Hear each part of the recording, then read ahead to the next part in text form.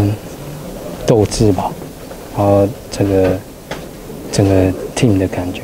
对啊，就是学习到的这些东西，其实大概都差不多哎，对啊，只是可能他们对我的打击可能还不是说很很确定，对啊，然后所以所以对我可能是跟他们有点呃例外，因为他们已经知道对方就是老将了，然后知道他们不会去打什么球，对啊。啊，对我就可能会就是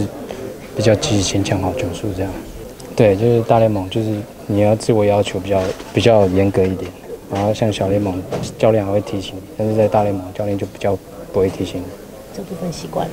呃，还可以啦，对啊，所以还是要去习惯一下，对啊。其实也还好，每队都是都是大联盟球队，所以就是一样尽我所能做好自己的工作，做好自己的本分这样，对啊。